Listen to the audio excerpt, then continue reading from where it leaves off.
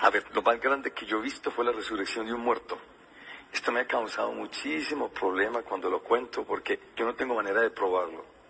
Primero porque esto ocurrió por allá por el año 1977 tal vez en las selvas de Honduras. Yo estaba en un pueblecito que se llama Intibucá. Por cierto que me llamaron una avioneta que tuvo que aterrizar a la entrada del pueblecito, en la carretera, no había aeropuerto, era en la selva. Un sacerdote de 84 años que tuvo un encuentro personal, vivo, de ojos abiertos y corazón palpitante con Jesús. Tenía 84, digo, lo conocí cuando tenía 80 años. Tengo cuatro años de haber conocido a Jesús, un sacerdote. Y se dedicó a trabajar por los indígenas. Entonces me invitó a que fuera. Y yo llegué allá como un viernes, como eso de las 5 de la tarde. Y se había muerto una niña de cuatro años como el jueves a las 12 del día, más o menos según me explicaba el médico. Y la indígena no la quiso enterrar, sino que dijo, no, va a venir el padrecito ahora el predicador y yo la llevo para que recen, para que resucite. Así fue que yo llegué a las 5 y a las 6 era la misa y la trajeron al, al escenario donde estamos. Era un pueblecito de 48 mil indígenas, de los cuales 45 mil estaban convertidos al Señor. Y el puso muerta. Y me dice el padre que rezáramos. Y a mí me dio mucha rabia. Yo le dije, padre, la niña está muerta. Dígale a la mamá que acepte. Está muerta, que la entierre. Y el padre, recemos un ratito.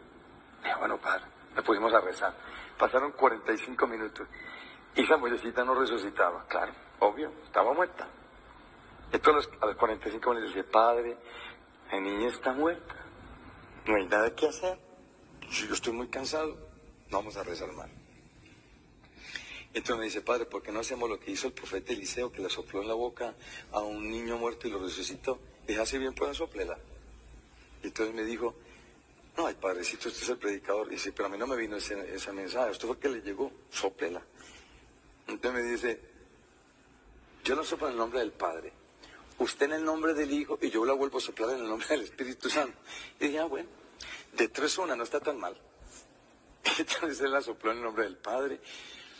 Y yo con un fastidio porque la muchita estaba toda cianótica y las uñas todas cianóticas y una figurita y todo fría y ay, ay Señor ayúdame, voy a soplar en tu nombre, en el nombre tuyo Jesús. Y la soplé en la boca. No pasó nada.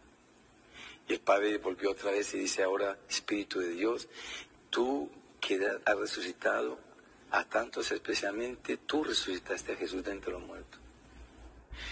Por el momento en el que tú resucitaste a Jesús de entre los muertos, devuélvele la vida a esta niña para que el mundo crea cada vez más que está vivo. Yo me acuerdo más o menos porque lo vi el Padre, yo con los ojos cerrados, muerto de la rabia, enojadísimo, porque la niña estaba muerta, el Padre insistía la sopló, yo con los ojos cerrados.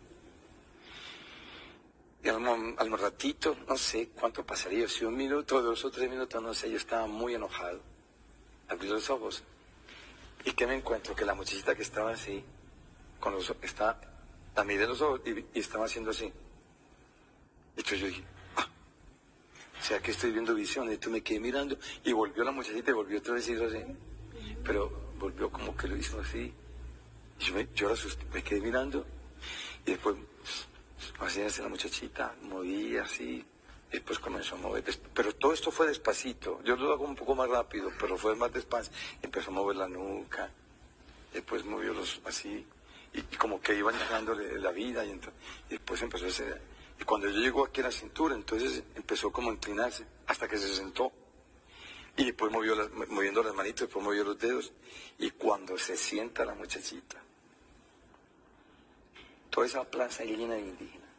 Eso fue la locura. Yo mismo, yo, yo, yo, yo estaba petrificado cuando vi que se levantó la muchachita. Entonces todos los indígenas se subieron al escenario que era muy pobre de la, de la maderita del lugar, se desplomó. Entonces yo dije, ay Señor, un resucitado y cuántos muertos de aquí ¿Cuántos heridos? ¿Cuántos heridos? Entonces el altar se me vino encima, yo contra la pared puse las piernas porque ya el altar se me venía, me lo quitaron, entonces saquen los heridos más graves primero. Nada, a nadie le pasó nada, absolutamente nada. Entonces se armó la fiesta y se estuvo hasta la medianoche, la muchachita se la llevaron en hombros y eran paseándola por toda la plaza. Eso fue lo más grande que me tocó ver.